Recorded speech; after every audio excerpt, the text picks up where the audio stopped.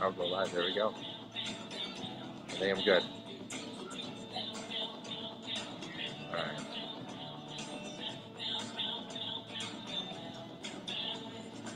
All right, everybody out there, this is the live stream. So I'm gonna take a pause. We'll be back at uh, Zurn and Vikings booth here in a little bit.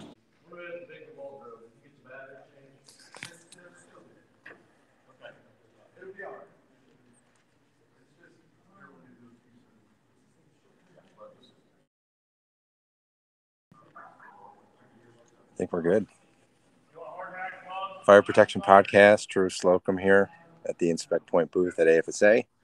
We're going to go uh, check out Zurn here in a second. I'm going to give them a little time with us since they're uh, gracious enough to partner up with us in some stuff. So, going to head over there right now.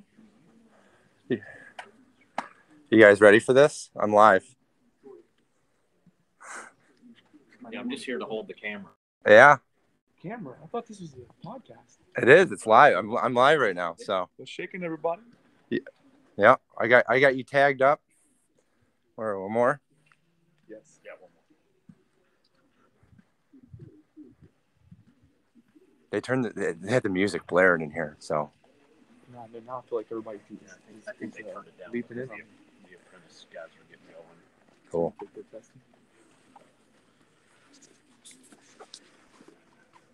All right. You can get in there. Yeah, I mean, we're, we're checking out Will's stuff, not mine. Cool, man. Get something in your.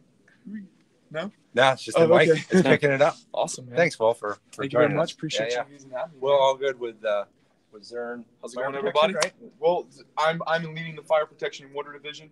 Uh, we're actually Zurn uh, Water Solutions, right? So we, we're more than fire. We're plumbing, uh, mechanical as well. But um, I get the pleasure of leading the fire troops to. to Awesome. So this is our, our valve tree. We really concentrate on the standpipe, as you can see um, here uh, outside of the backflow. So we'll, we'll touch the backflows, obviously our core business, but um, been doing a lot of great things in the valve world, Drew, and with the standpipes and, and Oh, yeah. trainings and stuff like that. So this is this has been a, big big draw here. Is This is the the ZW5000. So that's been the big draw for us this this week and in the last year. or So really um, taking the PRV world with, with the amount of high rises and, and Oh, yeah. PRV that's out there now, um, we found it to be a real uh, it's a gap uh, as far as the learning goes. So the, the end user on that piece right there, if you don't know this, is the fire department. So Right. a lot of the people out here, uh, what they work with is the automatic sprinkler systems, and, and that's that's perfect. That's what's saving lives. But at the end of the day, if that fails, um, and, and the, the the sprinkler system is not putting out the fire, the fire department will come in, and they're connecting in to our hose valves. Um, but typically, you know, a standpipe could have three 300 psi of pressure. Right, right. And so their hoses are just really designed uh, for less than 175 and Yep. the typical sweet spot in the 125 range. And so um, this valve allows them to connect in. Uh, we've already have a pressure reduced to a specific spot according to the drawings. But right. What we found in this world is uh, these, unfortunately, They're in where y'all world, they're not Oh, serviced yeah. properly. They're Yeah, not yeah, they're not set properly from the beginning. So, you know, when you guys work with the service contractors out there, what the big thing we train on is NFPA 25 is it's every five years these valves have to be full flow tested, Oh, and and so that's Right. an interesting piece that people skip over, um, and I and it's it's a deadly skip because uh, if this valve at the end of the day, if, if when this valve the end user the fire department connects in and this valve doesn't work properly, oh yeah. all else is already failed. yeah, yeah. And so then there's there's things like the one meridian. So this is uh, field adjustable, yes sir. right? Right. And so they're doing that uh, every five year, right? They're On the on the full flow test is every five. So one their their yearly inspection is a visual, and with that we're looking. Uh, we just do it. You, you turn the hand wheel, which that doesn't do anything. But you'll turn that to exercise, and you look for any uh, leaks here. We have a weep hole right here. If the system has gotten over pressurized during that time, you might find a little Alright. discharge piece here. Yep. Something to kind of keep an eye on. But uh, the yearly is just simply a, a real, just like a visual. visual. Yep, that's right. Oh, Um, that's great. and they're all that way, right? So just because it's field adjustable, the um, this is a field adjustable, but this is the supervised version. So we got sprinkler heads downstream of this. So if you see this Oh, right, piece right, here, right, this right. that's what that's that's the differential. The valve's very similar and actually kind of the same, other than when you get to this piece here. So we supervise um, the the four series. So it's a 5004. um, and that gets supervised. And so downstream from here, you'll have your automatic sprinkler systems. Um, and then right next to that, typically in the stairwell, you will have where the fire department uh, can hook up with the standard hose valve. Um, Yeah, I remember being used to all the you know factory set ones, but those are always troublesome because pressures change. pressures change uh, they don't get serviced properly and so so if you see over here we still do a very a tremendous amount of factory sets Yeah, yeah, yeah. um, and it's fine and it's it's approved fire protection uh, our piece to the f- factory set and we again we still sell a tremendous amount so i don't want to say they're not out there but but the problem with this is it's it is sat and forgot Yeah. so if it was designed improperly, if the building specifications change and those testings that we talked about didn't Oh, yeah. and the fire department gets out here with this valve, Right. it is what it is. Right. And so if this thing's spitting out 65 psi, they're done. And Yeah. they, they can't do anything about it, and, and that's kind of the end of it. So we really, as we go out and train municipalities and we show them how easy this guy is to, to, to adjust, and really in a fire situation, this breaks. This is just a carbon and plastic. It's got uh, vandal resistant screws for, for, Oh, for that's that's that's not just a. That's how it looks. That's that's Oh, this wow. is that. This is not a just like cutaway. a- yeah. oh, So wow. this is what it looks like right here. Yeah, so yeah. this comes slides down. This guy here is our adjusting uh, mechanism. Right. Um, industry best in this at one uh, before this valve was 15 pounds of torque to make this adjustment. This is the big deal for this. So when this valve gets used, that adjustment, a 3 8 inch adjustment rod, which somebody has always walks off with. um, It's too much money, maybe. It's too much money. But the cool thing about this, man, I saw we did a demonstration this week.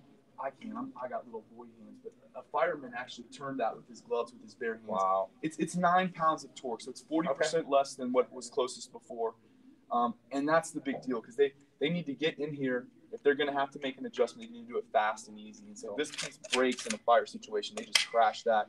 And three eighths adjustment rod, a Phillips head screwdriver, Wow. just about anything can make this adjustment. Yeah, yeah. And- And in the Cool. past, it is a multi-step process. I don't even have my old one here, but in the past, uh, top comes off. You have to get in here. You have a one and eighth inch deep Ah. socket, and we found that the the fire department's go bags or their high-rise Oh, yeah, yeah. bags never had They're- that they're- equipment. They're in go mode. That's right. And so we had we came up with you know a couple of years of talking to these guys of what they need, and that was the, the end result of it. And it's uh, it's doing really well. And the, the biggest piece I think that we're getting out here is, and I, I'm going to finish with that piece on it, is the NFPA 25 training. The, the every five year inspection of this Yeah. valve is so important. Yeah. And that's what you know my team goes out and trains on that and the importance of it, and then from there, um, hopefully that I'm, leads I'm moving valves. around here because this is a five-year problem as well. As we see ACVs. yeah, the automatic control uh, pressure regulating valves. So and this is one that people seem to be pretty scared of. I mean, you think I this, mean, look they, get a little scared of this, but then they get into here, and it's, hey, Will, we, we, how do we set it up? Uh, how can we, you know, can you come out and help us with that piece? you and test it? how do we test it? So, lots of pieces, but I will tell you this: the an ACV, as far as accuracy goes, is going to always provide. Um, a little more accuracy than a direct acting PRV. Correct. And, and so these valves will operate irregardless of our incoming uh, gallon per minute. We're going to have zero fluctuation in our pressure. So in situations where that's imperative, um, an ACV is the way to go. Um, they uh, there's some NFPA designs that make them a little bit prohibitive to use in place of direct acting PRVs. Right. But again, there are markets uh, throughout the country that don't accept direct acting PRVs Yeah. because of the fluctuations that they can provide versus an ACV. So um, we have both, but uh, predominantly in the high rise situations, you'll find going direct acting. yeah, yeah, yeah. That'll be the ones. Well, I see a lot of these in like the big high rises in New York and everything, and you know you'll see both, but sometimes the engineers will reject that and they Yes, want that's right. this. Chicago is our probably our biggest market, I think, uh, that does not allow direct acting Interesting. Wow. So it's all they are ACV market, and um, Now the know, big thing with with the five year, what we're seeing, I don't know if Chicago's doing it, but it's just it's finally coming around where they're they're having to five year test these, and a lot of the times there's nowhere you have to do a full flow on them. Where do you put the water well, if they're not designed with a drain riser? Like and where a lot of buildings. Yeah. yeah, and same thing with the direct acting, right? So, Yeah.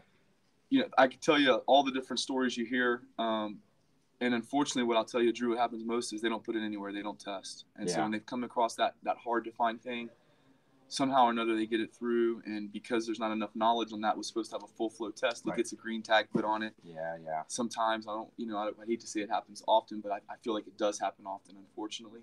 Um, because there can be a massive. It is an expense to the building owner, Yeah. and, and let's be clear: if, if, if the building owner doesn't understand it, and they Right. get one price for uh, somebody that just puts a green tag on, it, they get another price for somebody that does a full flow test from the 45th floor, Right. And then you get into cities that you just can't dump the water into the streets, right? Oh so, yeah, yeah. um, yeah. if that drain riser's not there, they might use a fire hose, but then where does the water go? And so you get into markets, you know, every, California is obviously one of the toughest. Yeah, yeah. You you can't just dump water like that. You know? And there's a there's a contractor we you know I know in New York that um, that has a rig for these. So what they'll do is they'll shut it down, they'll pop it out, and they'll do a bench test right there, full flow. I, okay. it's a huge setup. Yeah, but But- so so Drew, with that, because you were right, bench testing is allowed in NFPA, but as per our recommendations, we would prefer you don't. And do you, Yeah. you- can you know, you why? No, no. Well, because we feel like if you take our valve out and put it in a perfect situation, you've tested that valve.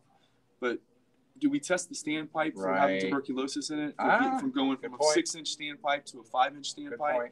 And so if, if, I, if my designer calculated this system with a six inch riser and a, and a- and a two and a half inch branch, and we shrink down because of NIC, tuberculosis, whatever you want to call it, and we shrink that to five and two, That's are my calcs different? So if I take this thing off and put it on the bench in a perfect world, Yeah. the valve could perform properly, but if we miss something in here, it, we, we, we might find it right here because why is this thing only pushing out 90 versus 120?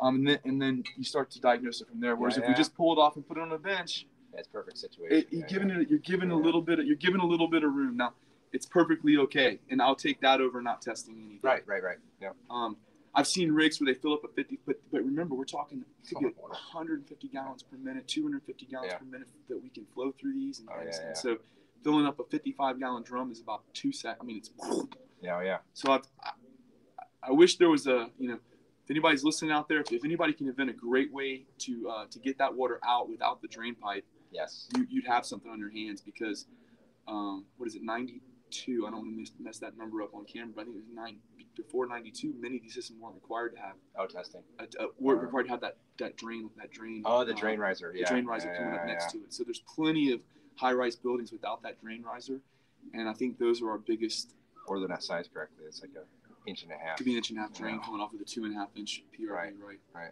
Um, so, so yeah, this in the in the pressure reduction world, these are our these are our babies, and, and Cool. you know we, we we work very hard on keep, keeping these up to uh, the best in the market, Nice. and so um, they've done really well. I, I don't know if you can see the in pattern backflow over here, Chris. It's kind of in the corner. We, we ten by ten booth this year was a little Oh, tough. no, no, it's all right. I'll get it. Okay.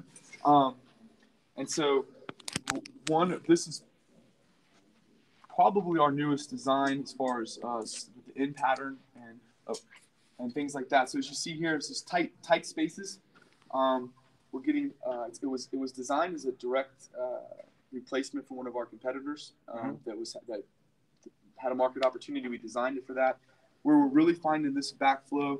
Um, doing places we weren't necessarily expecting is mecha- mechanical rooms where space is tight and they still Oh, yeah. want to have a, a reliable backflow system Yep, in yep. there. Um, or and, and where I never thought it would be working uh, very well was is in places like South Florida where even though it's outside, so all of our backflows Yeah, in South Florida yeah. are sitting out in the open, right? Mhm. Well, y- you don't think about it, but an eight-inch backflow at a high rise is a big monster thing. It's taken up a decent amount of ground space, and as the buildings get higher and they get closer together, that ground space becomes more critical. Yeah, yeah. So this backflow is taking, you know, it's, it's actually coming into its own with that as well. The setter makes it very easy, especially in markets where you have a utility contractor that's doing the uh, backflow.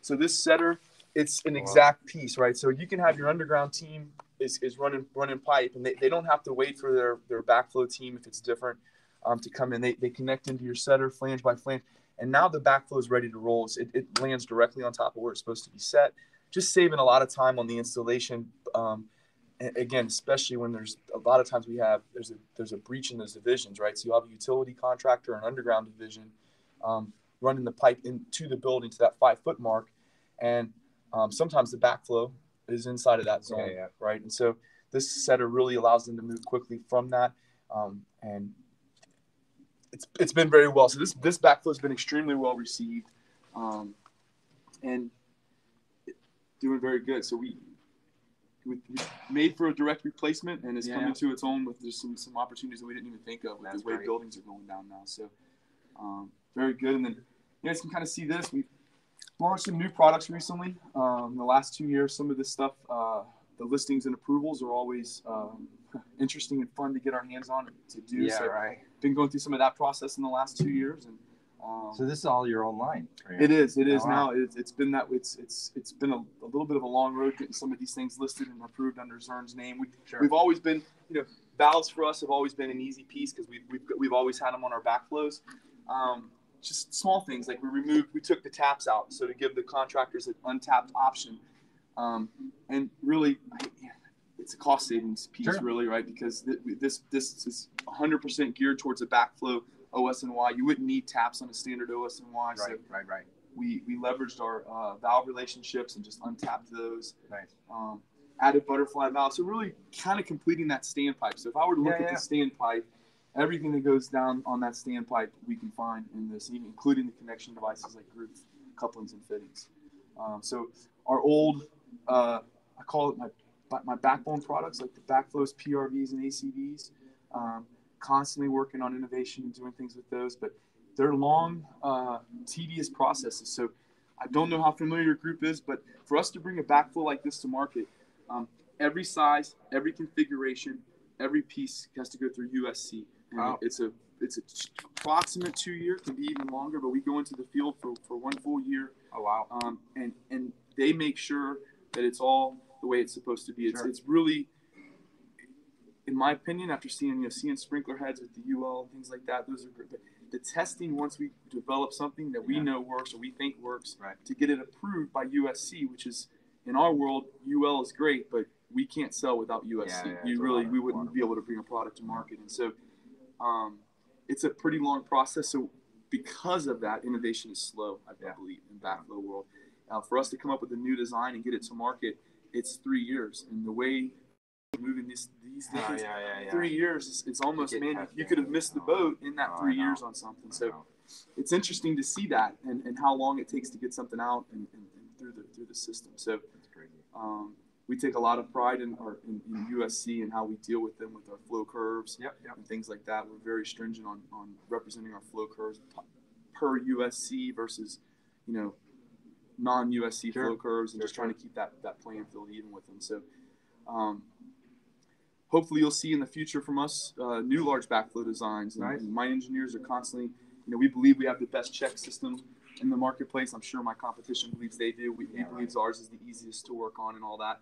But uh, they're still not sitting back. We believe it's the best, but um, they are constantly working on how do we make it uh, easier to install, better to service. Better to service. Uh, the you know, the, the flow curves, you know, maximizing the curves, Right. and, and, and to do all that in a, in a way that uh, you can bring it to market and sell it uh, competitively Yeah. becomes the challenge for my team. So Cool. that's it, man. The, the, Yeah. This will be uh, hopefully we see some new new big backflows coming out. And excited to be part of it. That's awesome. Will, can you touch on the Thank you. transition from cast to stainless body real quick? Sure. So we are ductile was a thing for years and years, um, and and we do a great ductile uh, backflow. But truth be told, it's it's a couple hundred pounds heavier depending on the size. Oh yeah. So it's a it's a little bit more um, involved for an installation process. Uh, obviously, in corrosive markets, we, we do put an epoxy coating on them, but man, backflows get stuff coming through them Oh, yeah. all the time, hitting the checks. That epoxy gets uh, nicked and it causes some problems. So the stainless is lighter. The curves are slightly better. Um, it's it's not as big and robust as a ductile uh, for people. For you know, and you'd be surprised. There's contractors that are making a decision based on that robustness Wow. of, a, of a ductile. They, they want the heavy piece, right? Yeah, the utility guys especially. So we're constantly working that angle of of guys. Have you you know have you tried a stainless because it's it's going to be Sure. easier, lighter, better flow. So Right. we're, we're working, but at this point in time, it's a it's still a dual a dual sword, right? So we have the same backflows available in ductile as we do in stainless at this point in With different curves. but but slightly different Wow. flow curves. Wow. That's right. Great. Well, thanks for joining us today. It's Yeah, I appreciate kinda, it, man. you know, a little uh, on the spot, but uh, yeah, thanks again. Hey, man. Yeah. Anytime. Cool. Thanks for it. Can you hit the yeah, hit the button? I don't know if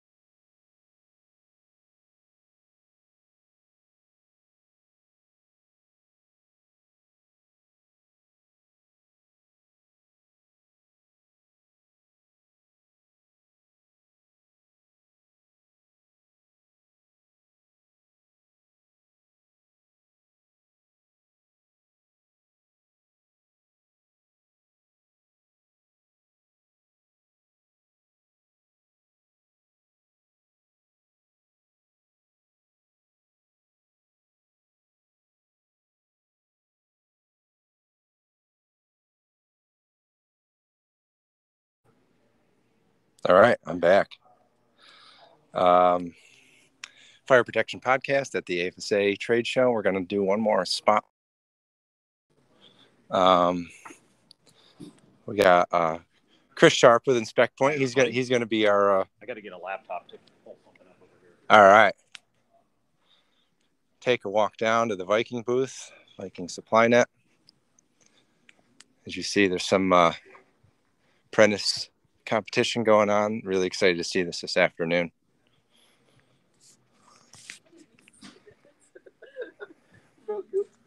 So we're we're, we're live here. Yeah, yeah, yeah. Welcome. How are you, sir? Adam Owens. Nice How you to doing? see you. Nancy Houghton. How you doing? Welcome to the to the Viking booth. Yes, yes. Thanks, thanks for having us. Yeah, I'll, I'm, I'll- I'll give this up to Chris here in a second. Yeah, yeah. Hook up to this one. He's still doing a little. He's going to help us do a little digital piece of something we'll show. Ah, later, but all Can I give right. you a few little, Yeah, yeah, yeah. I little pieces of? yeah, I want to see what you doing guys are doing and kind of what you're debuting. So, So uh, I, I do work. You know this. I do work more personally now with, with more of our strategic partners across uh, the network for Supply Network. Sure. But I, but I am still involved with the Viking piece of the business, and Yep. really proud of uh, new deluge valve, our new VXD platform. It's Yep. a new uh, self cleaning. Uh, self cleaning. self cleaning. So as as you see, this thing's in a vertical vertical position. Sure. It's a diaphragm. Yeah, valve. diaphragm, So yep, when we call yep. it self cleaning, we drain through the valve. It's going to allow the seat to be clean. Wow. Um, this is a uh, Drew. This platform, uh, the VXD platform, is is a lightweight ductile iron body. Mhm. Um, it's uh, offered in a inch and a half up to a ten inch. Up to ten. First I've never 10. seen a ten. First ten inch valve for for Viking even. So Ah, yeah. it's going to be offered in, in the 10 inch style. So it's all deluge equipment uh, and pre action equipment and uh, and ready to go now. Super small platform on the trim. Will that move into all across all the valve lines eventually, or is it? It will, and you can you might want to take just a little bit of a peek. And this is Sure, not sure, even sure. at the show yet. We'll we'll go through this, but uh, I I think I'll get Nancy to come over here and take a peek at this here with the valve configurator. This is a new this is a newer platform for us. And if you look over to the right, right there, the VXR. I don't think anybody here at the at the, at the show quite yet Is that plunger upside down? Or That's not a plunger. Tell them why it's upside down. Oh.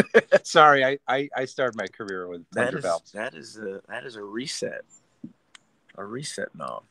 We haven't even released this, guys. So this is the first time I've even getting a little peek at this. Anybody that's dialed into the uh, dialed into uh, to your show today into the Oh, this is your valve. Is this your valve bit of selector? It is. Ah, all this right. is the valve configurator. configurator. Sorry. So what Nancy's doing right now is she's kind of walking through the steps of being able to build a, a valve setup, whether it's wet, dry, pre-action, and she's she's messing around now with a with a valve we don't we haven't even released yet. So that's it's going to be fun to drop that. Oh wow. But That's really It's on the underside. Wow. yeah, flip flip it over. Can we get it even upside down, Nancy? Yeah. Interesting. So we can't tell you a whole lot about this product quite quite yet You because don't we don't even it. have it all. But I like the fact that they've got it here for us to, to take a take a look at. Now, it's you know the way Nancy was working with this just now. This actually works uh, on your computer that way. Grab it with your mouse. You don't need any kind of special. It's a web based yeah, program. yeah, I see that. Yeah. yeah. But uh, it can actually you can go through every piece of it, whether you're familiar with the Viking line or not. Uh, our guys out in the field like to use this with with uh, groups that frankly aren't even familiar with the Viking line, so they get a chance to say, "Hey, this is what we have. This is you can configure it this way. You can work it this way. This is what we have." yeah, it's a good way to know exactly what you need for what you're doing. And one of the greatest parts at the end, you know, you can get a complete uh, product summary down here. It's going to show you the actual part numbers that you've selected. You can fill out your name and contact info. You can send yourself this list so that you've got a full parts list, or you can send it right to our customer service team if you're ready to place the order today. And the tech data part is really, really popular because Oh, wow. you can get it's going to pull right from the Viking website all the most updated tech data for every piece that you have selected. For submittal or something. it. Yeah. Yep, exactly. So yeah, it's one of our coolest tools, I think. No question about it. Interesting enough, I just noticed that. Yeah, valve yeah, So you can see that though. This is our dry valve pre-action, and Yeah. You can go s- straight wet. Wow. Oh, that's great. What's that web? What's the web address? Is it valve configuration? We get it straight from the the website, the Viking website. Yeah, go to the Viking homepage and it's right under our quick links. Great way to get there. Come take a couple look uh, look at a couple more products, and Nancy's going to be ready for the new SupplyNet.com website for you guys. So we got a couple of things that we're excited about too. We've expanded on our InstaSeal CPVC InstaSeal line with the uh, with the sealing gasket in it. Uh, we've had the head adapters for quite a while, but we're finishing up with the uh, the head adapters with the elbows and the T's. Excited about that, and this uh, no anybody that's watching is going to be really excited to see what this is. Owens, what do you got in your hands here? This is really a gasket insertion tool. So sometimes you have some issues with his gaskets, and what we recommend after you've installed it is that you actually pull the gasket, replace it with something fresh, and it'll allow you to have the seal that's intended for Right. the install. So there's a few tools associated with that. Uh, we continue to to enhance our XT1 platform with our sprinklers. Super super small framing platform. It's got the swing arm, swing arm for for the dislodgement. We call it. I call it a swing arm or the the T. Is where the XT1 comes from. It looks like a T, but what it does is it keeps from any kind of lodgement with the pip cap Sure. when it opens up and, and we're actually moving in this direction with with all of our sprinklers but that one's that one's continuing on uh, another exciting piece for us is a is a redesign on a on a VK4621 concealed sprinkler that can actually be Wow. installed if you can see that This is so much smaller. it's very small but it can be installed now Drew and Chris with the cap in place Wow. so that can be installed with the cap on. You never have to remove the cap. Before you'd have to remove the cap, install it, put the cap back on. But uh, And it, we've got, got the there. QR on there. QR for I, the always thought- I like I like QR codes. I don't know why. So I, I'm all about them too. But but check this out, guys. So what you're looking at is a polymer, uh, really Oh, hard really? Oh, wow. plastic wrench. Yeah, yeah, yeah. uh, tested and approved, installed thousands. These things are super, super uh, robust. But we also have the standard and tri- tried Sure. and uh, steady metal Yeah, yeah. wrenches. But leave these behind; they're not nearly as costly. All right. You know, others. that's a big part of it too, right? The wrenches are, you know, and it, it, a lot a lot of our users in this platform. One of the big write ups is they don't have wrenches, right? Yeah. So, you know, more cost competitive wrench plus you got all this stuff on there. So and, and and I think that's the way we should be going too with that. And we, all of us are, are using 3D printing and they have the Yeah, ability to do that. And that's cool. So uh, everything we've got these days, like you say, have the QR installation uh, installation guidelines on it. Something maybe not so super sexy, but an ESFR guard, guard for ESFR, yeah. so you know eight nine and Yeah. and our codes there. Uh, For the interacts and that's right. Yeah.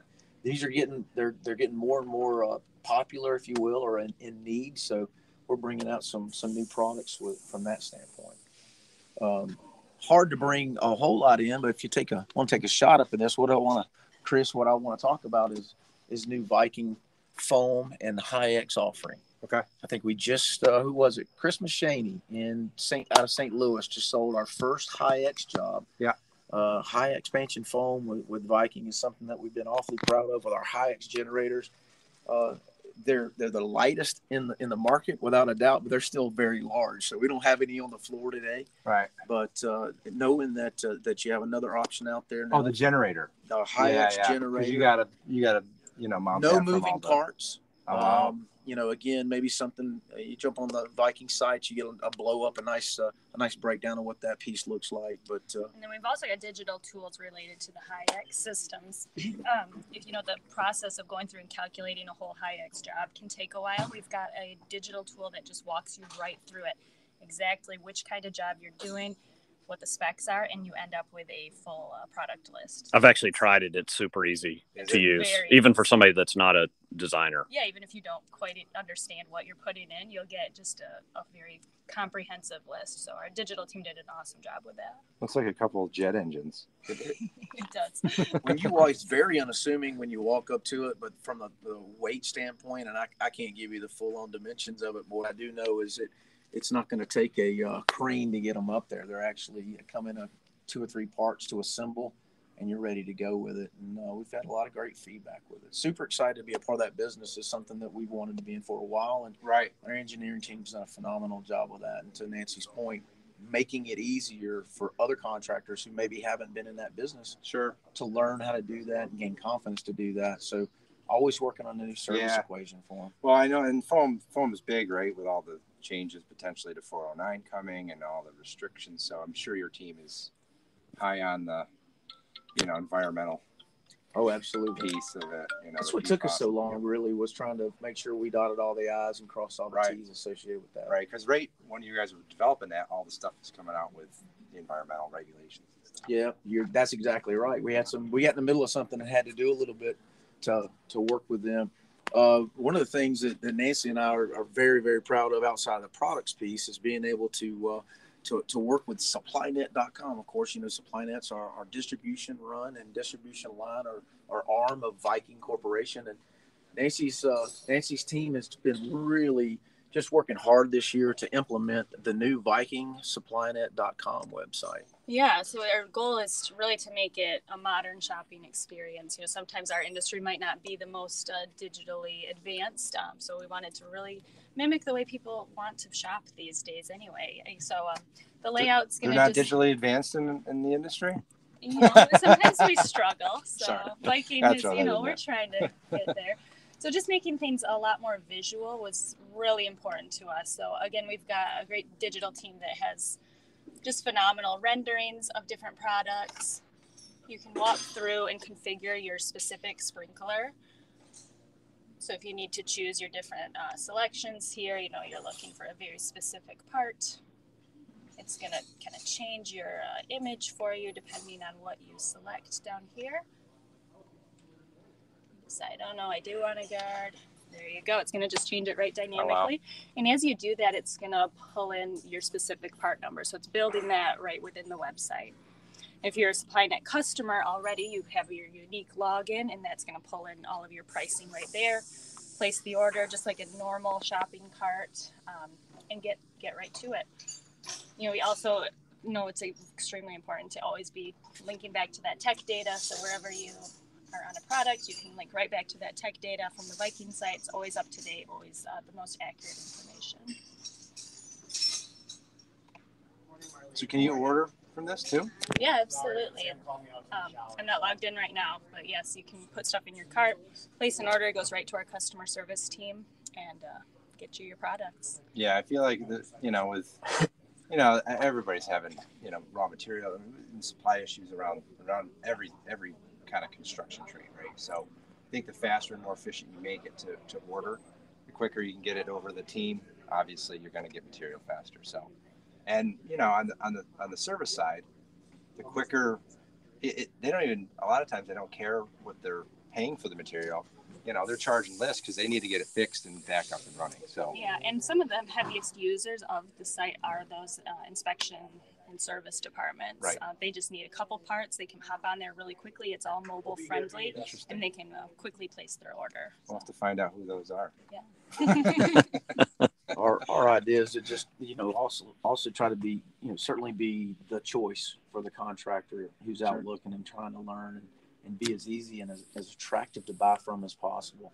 Uh, one of the things too that, that Nancy and her team and myself we're out looking for, you know, those those partners who can uh, who can work with the value systems that we have and Yeah. understand uh, what it is that, or they have this, the congruent value systems that we you know we do with regards to uh, causing customers to, to look our way. And, Yeah.